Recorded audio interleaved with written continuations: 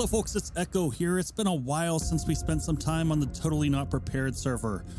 So I'm on here showing you the vault.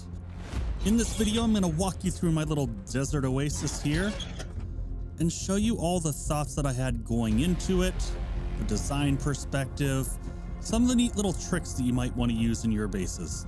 This might not be a fully fortified horde base, but I did manage to pack quite a bit of defensive measures in here. You know, just in case. So as I typically do, I probably went overkill on this and made it to be able to produce anything that I could possibly use, as well as be able to support the community on Totally Not Prepared. And thus was born my idea to build a little garden. I never thought I'd achieve Eko's goal of setting up a farm-to-table restaurant served exclusively out of vending machines. But here we are the garden on top of the vault.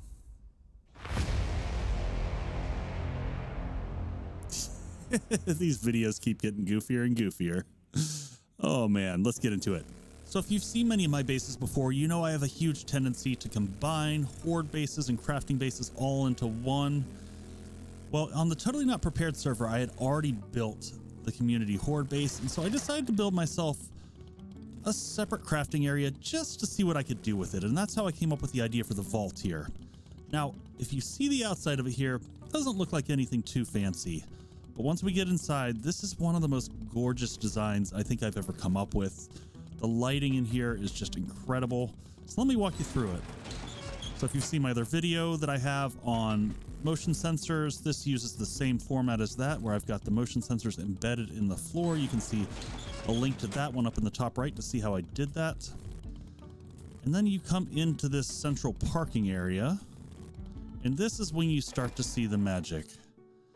Now we're going to get into there in just a second and I'll show you the whole crafting area. But first I want to show you the, the idea that I had when I was designing this. I started to fill in all the sides and I noticed how gorgeous this red rock here is in the background. And so I had an idea of saying, hey, what if I built the lights into the wall and just let that red stone um, slash dirt just be the backdrop for everything. So I built the lights into the wall and then covered everything with security grates and it gave this crazy filtered look with the light coming through. So in terms of defenses and whatnot, the way I built this, I wanted to be able to, you know, just craft and run as many forges as I wanted and not have to worry about things.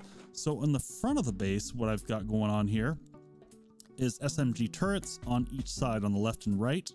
They're wired up through motion sensors, so they only kick on if we've got friends showing up that aren't invited. Uh, additionally, there's an air raid siren critter back behind there that lets me know that they're there. The original concept of this was that this would be an air gapped spot. So if the zombies broke through there, I was going to put turrets along the side here, but I just realized after seeing how much damage the SMG turrets did, that was pretty overkill. So once you get into this area, there's two things to show you. Oh, we'll show you the crafting area first, and then we'll show you what's up that way. That's that's the way to our little upstairs garden. So you notice there's these walkways that go all the way across the top. And then you've got these vault doors on the side. These house all the wiring areas. So the wiring comes here, goes down through the floor. You've got additional wiring runs that go all through the bottom of this so that you've got the wires hidden. And then up from here, this gets you onto the walkway. And so if the zombies manage to break through, you would have a secondary fighting position up here where you can move around the whole base. Additionally, up here, you've got access to the main area of the vault through here, but we're going to go ahead and go on through the bottom. And if you if you're wondering why that's yellow and you haven't seen some of my other videos and whatnot, I like to color code my wiring as much as I can, and I'll show you a little bit more of that once we get inside the vault. Oh man, I love this. Oh, and second layer of defense, we also have SMG turrets here, one on this side and one on this side. And I used a little trick. So the SMG turrets are pointed on a diagonal this way. And I did that because if the zombies break through this first door, then the SMG turret can shoot through here or through there. So if they somehow get past the trajectory where they can't shoot through that rock, they're also going to get hit here as they're trying to bust through this door. All right, now let's see what we have in the vault here. I love this room so much. Every time I come in here, it makes me happy. So I built this crazy mesh, and what I did is I flipped the security grates um, so that they're uh, on a 90 degree angle flip each time. So that that way the light filters through, not just in slats, but gives you that crosshatch look coming through. And then I built all my crafting here in a pretty logical fashion. This is actually my favorite layout that I've done. I've got um, all my weapons and tools. So this is kind of final crafted stuff. So that way I know the things that I need immediately are at the towards the back of the room. So this is weapons, tools, clothing, all that good stuff. And on the right side are all my consumables. So this is going to be my food, my meds, any type of ammo and things like that. And then lastly, the stuff across here are items that I either need to bring back up to the farm, which I'll show you in a second, or out to the community store, which I'd be selling. And then through the center here, I just logically arrange things so that, you know, they, they work with the associated thing, the associated, the associated things, the associated uh, crafting areas.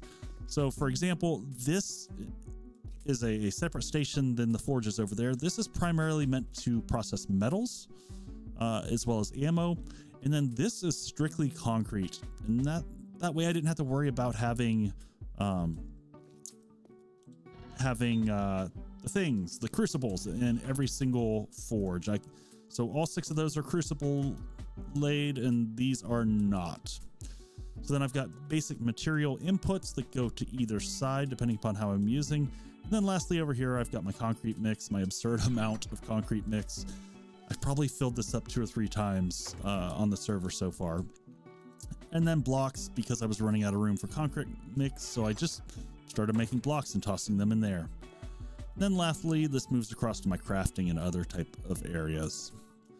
So just to give you a view from the upstairs, because it looks so cool when you're up here and walking across and seeing the hatch work. So this is what I meant up close if you see it. I just flipped those so that the light goes through two different layers and it gives this really gorgeous pattern and also gives the diamond shape that you see coming through the background there. Now, I won't lie, the uh, the wiring for this was a total nightmare. it took a lot of work, a lot of breaking things and re-breaking things. So you can also come in from up here if you want. So multiple entrances into here.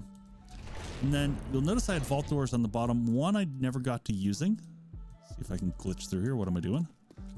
So that one I didn't end up using. The ones on the side here are the access to be able to get to the turrets in here. This is the power for those turrets, so we don't necessarily have to have them turned on. And then back here is where we put all the power runs. So in this room right here, and I started to label these and I guess I failed. So I've got multiple generators set up. And again, I like to remind myself what they're for. So this color is indicating that it's controlling the doors. Um, so that's the one of the critical ones to make sure that we fuel. Yellow is going to be for lights. This is the front door turrets. This is the interior turrets. I didn't get around to um, color coding that one. And then this one is a secondary set of doors that go to the back side of the base. And you can see way back here, I've got one land claim and I actually have a secondary land claim up above because this was so tall that they were, uh, the zombies were spawning on top. Now, I'm not going to go through all of these, but I'll give you a little idea. This is how I did all of my, my cable wiring. Make sure I've got my lights on here. So I've got all the wires run down through here. And then all of this runs all the way back to the front of the base. And even to get to those SMG turrets at the beginning, you can come all the way back out to here.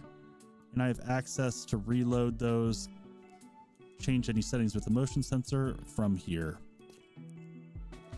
So that gives me all the access that I need to get to pretty much so everything in the base. Additionally, I can follow this all the way to the back here, to that back entrance that you saw when you came in that leads out the door here to the other farm. So why don't we take a quick look? That's where we're going to close things out. There's not going to be a horde battle, obviously, for this one. I just wanted to show you around here. So hopefully you're enjoying this. If so, consider dropping a like and subscribe. I'm gonna I'm gonna head up to the farm and show you what that's all about. This is a crazy amount of digging, by the way. So here again, I wanted to kind of leave the natural rock face in place. So I put pillar supports along the way that are not really necessary, but gave a good look. And for the all for the lighting on this, rather than having to string cables all the way through, I put lanterns embedded in the in the rooftops, and then again use those security grates to get some good looking lighting coming through. All right, so since I couldn't have the farm down there, well, I couldn't when I built this. I'm gonna have another video come up very soon, and once I do, I'll get it linked up above here, and that's gonna be teaching you how to be able to grow a garden underground with no lighting.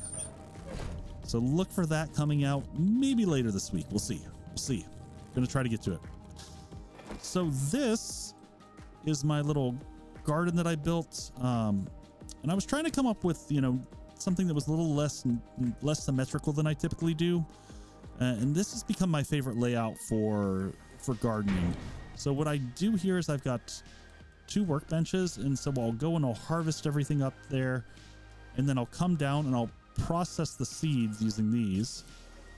Surprised they don't have some left over. And then I dump all the seeds back in here. And then my food ingredients get broken up as follows. This has worked out as a really great setup for me where I do meat, brains, and fat. Don't ask. I, I don't know how I came up with that initially, but it works out well. So this will have, you know, I think I burned the last of my fat because I was making community food but I'll put all that in there. I try to keep a large supply of murky water and water. And then here's all my canned foods. I try to do runs. Um, I've marked a number of the vending machines around the map. And so I'll do runs every day that I'm on the server and pick up canned goods so that I can make some of the high end foods. Food ingredients are going to be all my, you know, everything that I'm getting here from the from the garden. And then lastly is be my prepared food, which is probably going to be empty because I typically rotate everything from this down to either my crafting area downstairs or I take it over to the community base to sell. So here is the garden layout. Nothing especially special about it. I just wanted it to have, you know, a broken up feel so that I could plant different things depending upon my mood. And then down here is where we have our little mushroom farm. So again, made use of some lanterns under here so I didn't have to worry about running wiring. And then that gives that power down there. So the tower in the center is here for nothing more than aesthetics. I did have some ideas for it. I've got a ladder rung that goes up to the top but otherwise that's it. And this is much like my other areas where I've got the, the sensors here. I've got a shut off switch if you wanted to make sure that you're not accidentally turning it on and off as you walk over this. So that is my base on the Totally Not Prepared server from my crafting and farming perspective. I hope you all enjoyed this and I will see you on the next one. Take care. Eko's out.